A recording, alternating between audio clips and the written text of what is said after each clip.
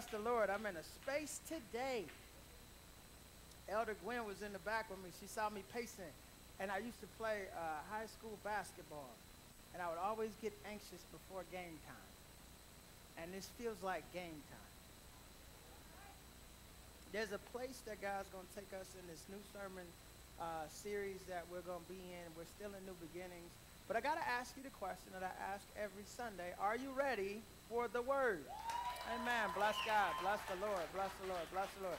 We are here. Turn to your neighbor. You've gotten used to this. Turn to your neighbor and say new beginnings. Turn to the other neighbor and say new beginnings.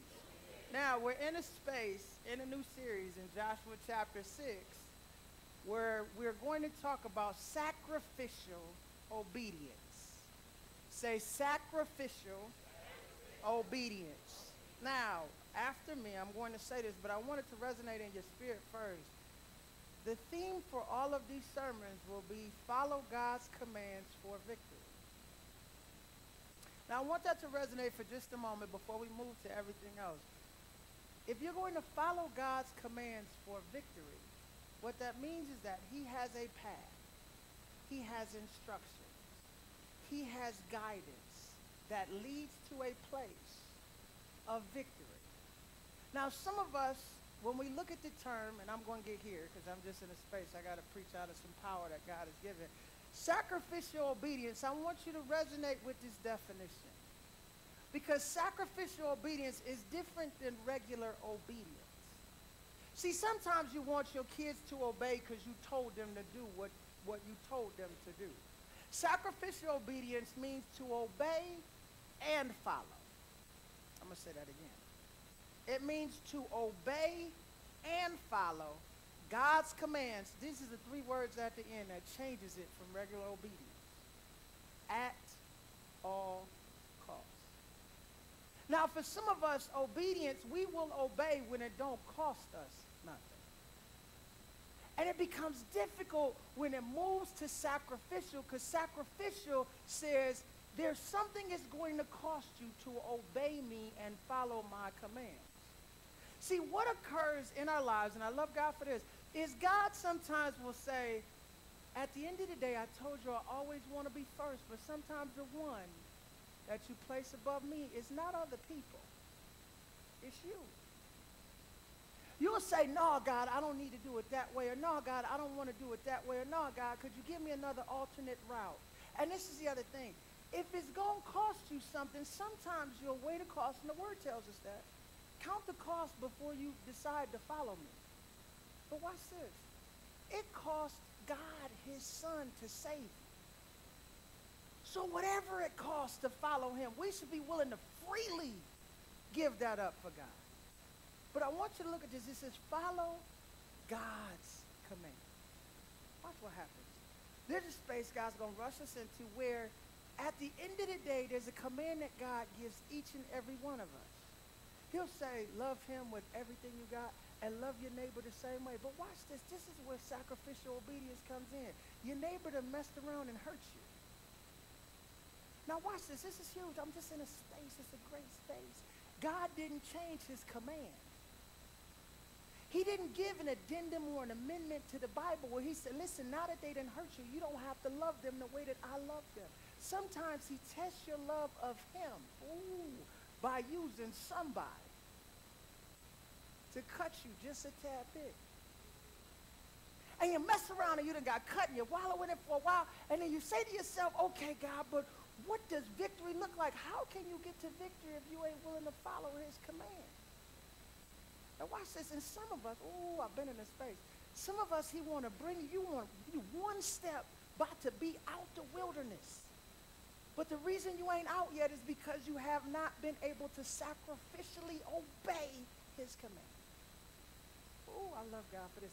And the enemy don't want you in the promised land. Because watch this. The promised land got so much in it that he can't stop. The promised land got milk and honey that don't stop. The promised land got land abundant. The promised land got provision for his vision, and he can't stop it, and he don't want you to get in. And the longer you sit on the outside, he wins. But the minute you get in on the inside, the minute that you take one foot step across the threshold, and God said, if you do it my way, I promise you victory. I promise you change. I promise you peace. I promise you eternal life. I promise you some stuff you've never had before. But watch this. You got to do it my way. Because if we do it your way, it ain't going to work. Because I'm not preparing you for victory for today. I'm preparing you for victory for all of eternity. Stand to your feet. Just in a space, exercise. Seven verses today. Joshua 6, starting at verse 1. It says, Now the gates of Jericho were tightly shut because the people were afraid of the Israelites. No one was allowed to go out or in. You may be seated. That was some quick exercise. Stay in the space with me for just a second as we build to the place that God is going to bless us to go. The children of Israel now have been circumcised. They are ready to go into the space that God is going to bless them to go. God has now taken the leader, and I want to share this with you real quick. God will always take the leader to a place before the people get there. I'm going to say that again. God will always take the leader to a place before the people are to get there. Now, God has already told Joshua, take your sandals off. This is holy ground through one of his angels. He's now already directed him, and Joshua has already submitted himself unto the authority of Almighty God and said, whatever you want your servant to do, that's what I'm going to do. Now, they're about to go into Jericho. I'm going to give you a little bit of history before we get into the rest of these verses. God had already blessed his children 40 years before to be at this point. They had already gotten to this space with Moses, and Moses sent 10, 12 spies in. Two, Joshua and Caleb, come out with a great report. They said, we could take this. Ten people mess around and have doubt and fear. And watch this, and I got to share this with you real quick. If ooh, ooh, ooh, you when you was young, did you ever hear somebody say you a scaredy cat? And you mess around and have levels of fear and you hang out, watch this real quick, and I just, you got to do this. If you mess around and, and hang out with people who have a spirit of fear that's not of God, it'll mess around and jack you up. They're afraid of doing what God has called them to do. They're afraid of taking the next step. And watch this. God has not given us a spirit of fear, but of power, love, and a sound mind. You got to keep reciting that to yourself because the enemy will sneak into a space and make you fearful of something that God has for you. And watch this, and, and be real with yourself. There's something that you've been struggling with, and it's only because you haven't overcome the spirit of fear. And sometimes you got to share with somebody that you love and you care about, yo, I'm getting a little shook by this thing. Some of y'all know, and I thank y'all so much for praying for my dad. He's doing great. He's starting to recover. God is good. I claim his healing. There's been people sent flowers over there. All the rest of that. Papa's doing much better. But there was a point where I was driving over to the hospital because my mom had gotten a little shook by something that happened with my dad, and it, she got a little frantic, and I could hear it in her. And then the frantic jumped off on her son. And I'm in the car, and I said, God, me and you got to have a real conversation.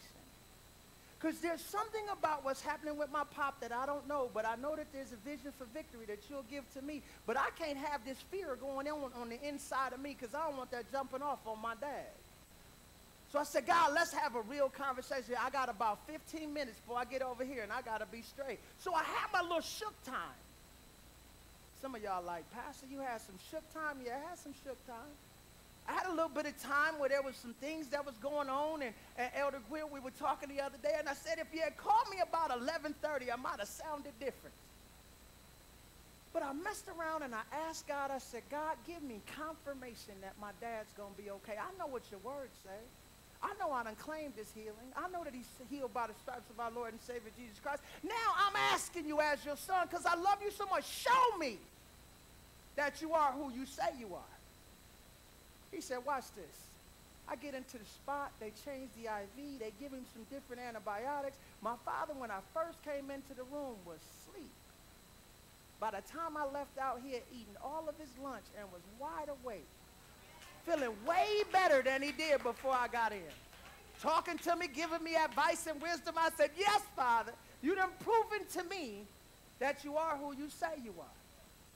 But watch this. See, the thing is, when fear crept in, I went to he who told me that that fear ain't from him. So if it ain't from him, I know it's from the enemy. And watch this. And now, God, I need you to give me power.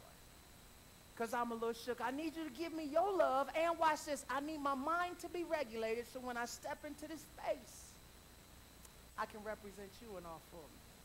So watch what happens here. I want to I want to get you to the people in Jericho. There's some people that heard about what God was doing with God's people. They understood that the Jordan River got parted. They understood that there was some conquering that God had already done. And this is the thing. When God got something for you, the people who are inhabiting what he has for you start to get shook before you even get there. But you got to get there in order to understand the shook nature that they in. So watch what this. So it says, now the gates of Jericho, they were tightly shut. Watch this. These people are inside the gates in fear. They are afraid that what is about to happen, you see this? Shut because the people were afraid of who? The Israelites. Watch this. This is the thing I don't understand about us sometimes. We allow the world to shake us when we're supposed to shake the world. We're supposed to step into a space and watch this, and the whole environment changes because of who you with and whose you are. And when the world, when you don't step in, and I've been, I've been quoting this, when you step in and you put your Timbs down, when you step in and somebody hear the Lord in you, when they understand that your light cannot be put out by anything that the world does. Sister Jackie broke that thing down so good today. I was sitting in the back just eating off of what it was that she shared about the ten bridesmaids, and they didn't, five of them was wise and messed around and they got extra oil. See, their extra oil, they had to sacrificially obey because they had to spend a little bit more to be prepared for when the bridegroom came. And the other five, watch this, they wanted something. She broke this thing down. She said they wanted to be able to get the oil from the ones who had gotten it, but sometimes you got to tell people, go get your own oil. Ooh, I was sitting in the back. Then Erica dropped it on. She said, listen, but see what you're supposed to do is you're supposed to have an overflow. That way, if they ask you for some oil, they don't get the essential oil. They get the oil from your over. Oh, I was sitting in the back. Mess around and miss foundation. You don't understand? Coming in here starving. I done already ate. This the second meal of today. So, so they was afraid nobody could get in and nobody could go out because of fear. And I think about this. You're sitting around a whole bunch of people that are terrified because they know God is coming. And they're sitting in a space and they can't do nothing to change it. But watch what happens. So in verse 2 it says, But the Lord said to Joshua, starting with the man of God, I have given you Jericho, its king, and all its strong warriors. You and your fighting men should march around the town once a day for six days. Now watch this. I've heard people say, and I believe this for myself, that when God says it's going to happen, it's going to happen. See, God speaks to one man, but this is what he declares for that one man. He says, I have given you Jericho, its king, and all its strong warriors. You and your fighting men should march around the town once a day for six days. See, Joshua knew God would do what he said. Joshua was there when the Red Sea got parted. Joshua was there when they went across the Jordan River on dry ground. Joshua had a history of faith, and when God said it, he knew it was going to happen. See, sometimes, I love God for this, sometimes God got to start with somebody that got unshakable faith. Y'all missed that. See, sometimes you got to start with somebody says, if I put the seed in them, it'll grow because they just believe me for who I am. I'm not going to start. Watch this. I ain't going to go back to the situation where 10 of them got shook when I told them that they had victory.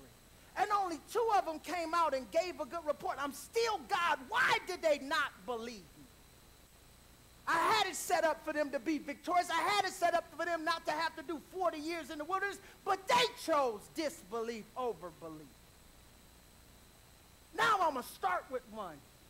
Because I done fashioned, well, I love God for this. I fashioned him in trials and tribulation.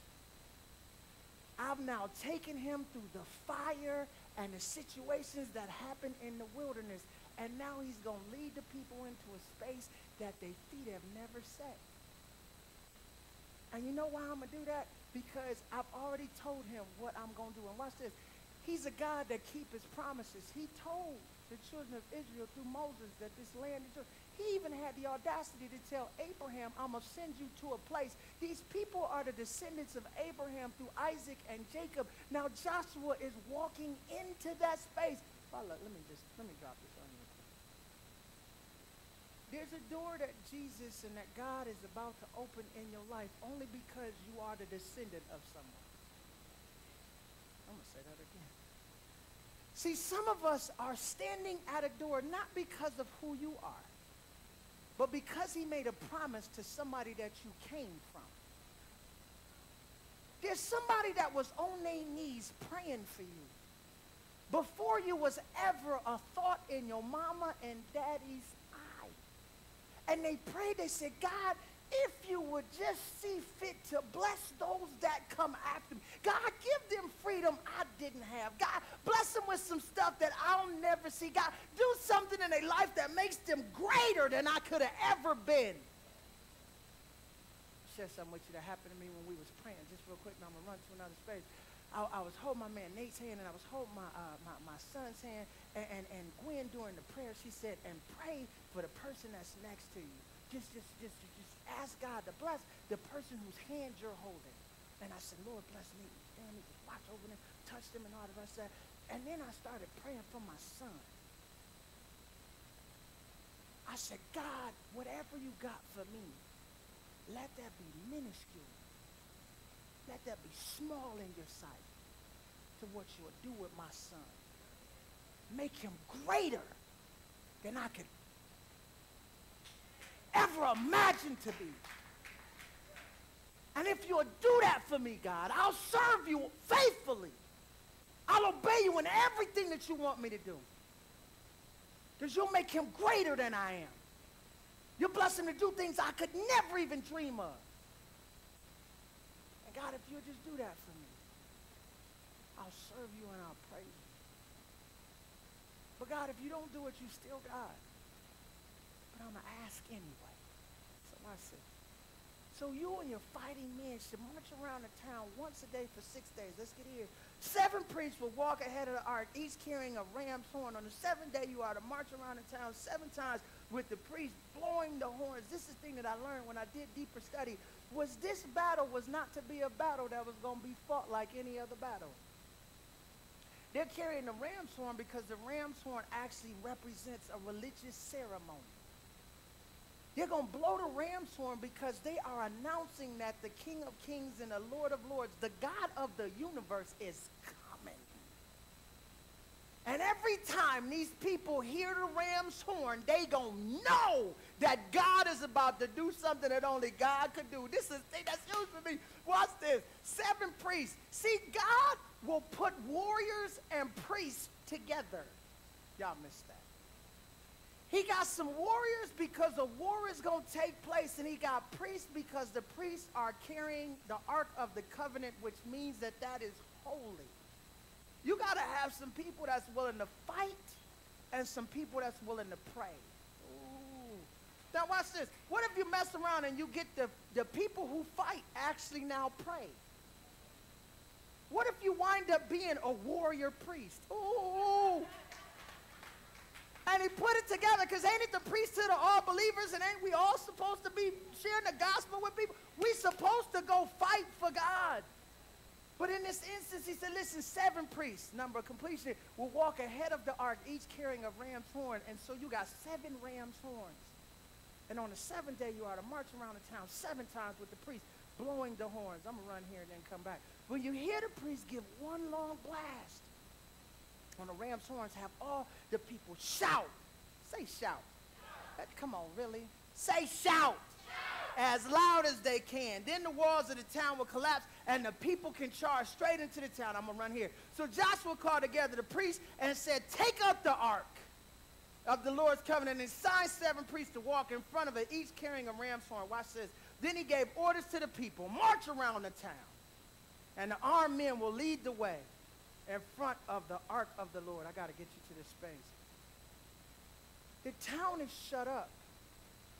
But God said, even though they think I can't get in, I'm letting them know that I'm coming. Now, I want you to stay in the space for just a second. I'm going to run here before we get to the end. And it's interesting. He says seven priests and four will walk ahead of the ark, each carrying a ram's horn. On the seventh day, you are to march around the town seven times with the priests blowing horns. I got to just take you into space. This was huge for me. I just got to drop it as God has given it unto me. He said they are to walk around six days, just one time each day. Six days of work. Usually the seventh day is the Sabbath day where they're supposed to rest. God said, this different. This is the other thing, and I, I love when I talk to people and you want to shatter tradition. Sometimes tradition keeps you out of where God wants you to be. God said on the seventh day, you're going to walk around seven times. You're going to blow the ram's horn. Now, somebody probably in the Israelite congregation was going, but I thought the seventh day was a day of rest. He said it is a day of rest. But when I give you a command, follow it. Don't debate it. Don't ask a whole bunch of questions. You don't have to sit down and negotiate a command. See, watch this. Commands don't have options. We create options with commands because we make the option to not follow the command, which is disobedience. Sacrificial obedience says, I will sacrifice what I want to obey you. Mm. He said, on the seventh day, you're going to do something different. You're going to do something that's never been done before.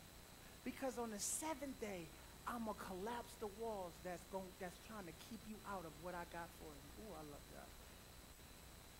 Is there some stuff on the inside of you that he want to collapse?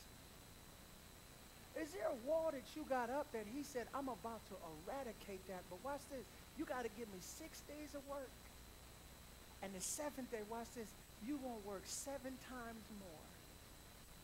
But what I got for you, the enemy can't keep from it. Watch when we get here. I got to get to this space. Ah! You know what we done. He gives the people orders. They're to march around the town, and the armed men will lead the way in front of the ark of the Lord. Right here. Turn to your neighbor and say, follow God's commands for a vision for victory. There's some people, watch this real quick. I could sit and I could talk with Brother Del Rey all day. You know why? I was blessed to be able to go by the grace. I had a great time. You know what? There's a gift that visionaries have.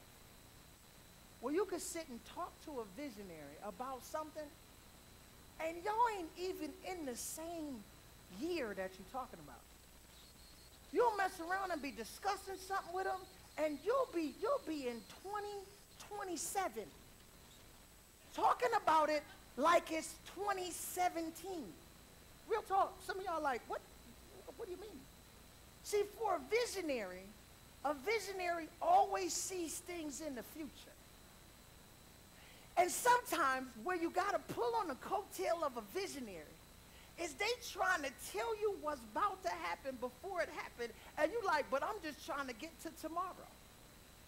But the visionary got sometimes, you mess around and get a visionary with faith. Ooh, Jesus.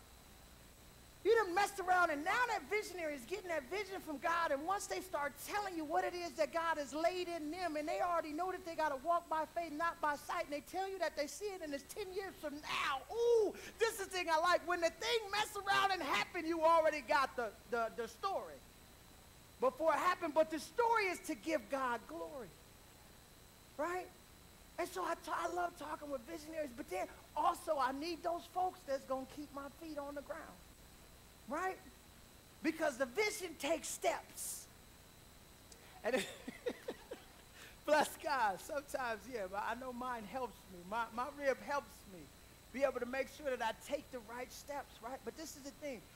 At the end of the day, once we get to that space collectively together, I could tell her, yo, you know what? I just, I know this is going to happen because God said it and he showed me and I'm sharing it with God's people. And this is the other thing. When you mess around and you catch the vision, ooh, it ain't like catching a cold that don't leave you.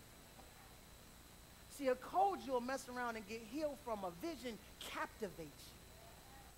And what he does here is he says, listen, what I'm going to do, Joshua, I'm going to give you a vision for what victory looks like. I'm going to give you a vision that when you walk around one time each day for six days and you blow the ram's horn, then the seventh day, you're going to walk around seven times. I want you to envision the people already walking around. But watch this. A vision takes action. Mm. The Bible tells us, write the vision and make it plain. And a vision has to stay before the people. You know why? Because this vision that God gave the children of Israel, he had already given it to Moses and the prior group, but they messed around and they didn't want to trust God for his vision. I got, oh Lord, you want me to say that? I'm going to say it. What vision has he given you that you're standing in the way of? What vision has he given you that he said, if you will just sacrificially obey me, I'll tear down the wall of fear and have you walk into a place of faith that you've never experienced before? What vision has he given you? And watch this, and I love God for this. What vision has he given you that somebody has spoke to you confirming words and you allowed the enemy to steal the words as soon as they hit your heart? There's a space he wants you to get into. He's shown, well, I love God for this. He's shown you that there's some people in your family that's going to be saved. But you got to be more faithful to him. You can't be Jesus to him no more. You got to step back and let Jesus be Jesus. You got to give him that kind of love, that tough love, and you don't want to give it to him because you think it's going to hurt him. But watch this. What's hurting them is what it is that you're doing.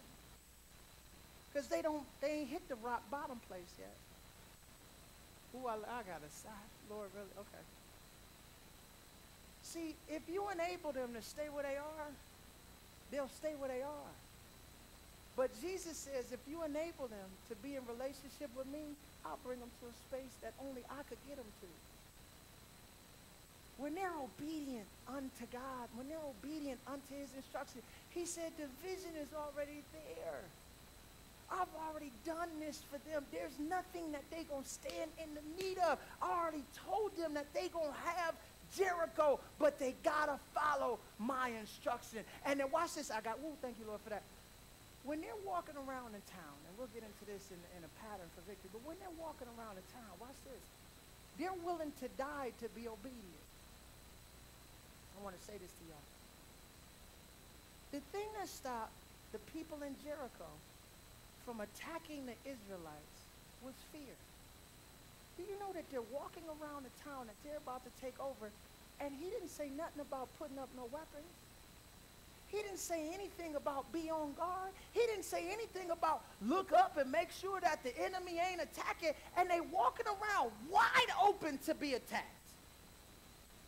But they got such faith that what God said is going to happen is going to happen, that they boldly blow the horn. And watch this. I just think every day that the people in Jericho heard the horn, they got more and more afraid. But my sister, and then I got Sister Jackie did such a great job. See, they wasn't ready for when God was going to show up. They knew he was coming, but they wasn't ready for when God was going to tear the wall down. There was five brides that wasn't ready for when the bridegroom said he was coming. They didn't get what they needed to get, and they didn't know that the bridegroom was coming when he came, but the five wise ones had prepared themselves to be able to be asleep because they had extra. Oh, I love God for this. Sometimes you got to get a little extra. And watch this, in order to understand what God wants you to do. But watch this, I got to take you to a space. Sometimes God will give you a little extra trial to teach you patience. Sometimes God will give you a little extra delay in order to see if you really going to work your way to do what you say you're going to do. Sometimes God going to give you a little bit of extra cut to see if his love going to pour out or if something in you going to pour out. See, he'll give you a little extra so you'll be prepared that when the sun cracked the sky, you ain't to be like the bridegrooms that didn't, I mean, the brides that didn't have, the virgin brides that didn't have the oil that they needed. Their only job was to be ready for when the bridegroom came, and they wasn't ready for when he came. They wasn't ready in Jericho. The world ain't ready for what God gonna do with you. The world don't know. The enemy is saying, don't mess around and get to be too great. Don't mess around and let the blood cover you. Start really believing the Lord for what it is that his word say. You mess around and start reading the word for yourself. You mess around and start praying in your prayer closet. You mess around and start fasting without being told. And then he said, wait a second. You trying to mess around and make some warrior priests. You trying to mess around and make some people that ain't going to get shook by fear. You trying to mess around and give the people the keys to wisdom and to worship. That's going to unlock some stuff that only I can unlock. You're going to mess around and make some different folk for some different stuff that only I could bless them to do. But watch this. But you got to follow God's commands for the vision, for victory. Stand to you.